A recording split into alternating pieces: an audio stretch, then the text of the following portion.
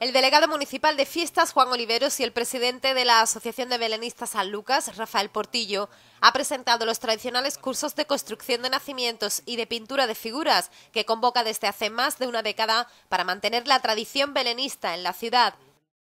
Una formación belenística que la Asociación Belenista San Lucas, pues durante muchos años se ha encargado de transmitir desde los más jóvenes hasta los más adultos en San Lucas de Barrameda, en nuestra ciudad.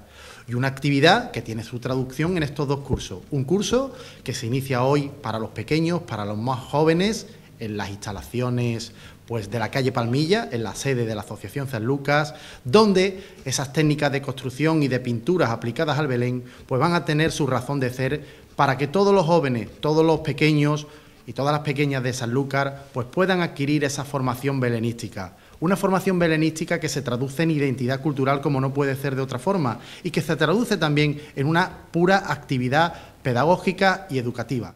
Esta tarde se inicia a las 20 horas en la sede de la calle Palmilla el cuarto curso de técnicas de construcción de edificaciones y pinturas de figuras para escolares de entre 7 y 12 años. Este curso tendrá lugar los martes y jueves hasta el 2 de octubre.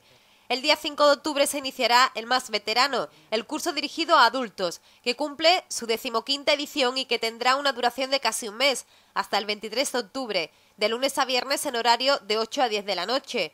El presidente de la asociación ha animado a los ciudadanos a que se inscriban y participen en este curso, en el que para los más avanzados abordarán otros apartados de las técnicas belenísticas, como la iluminación.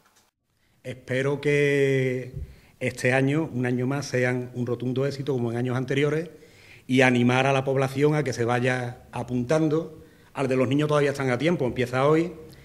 Y el de adultos que se vayan, se vayan animando y si no este año, pues en años sucesivos que seguiremos siempre con, con la ilusión de mantener viva una tradición de 800 años ya.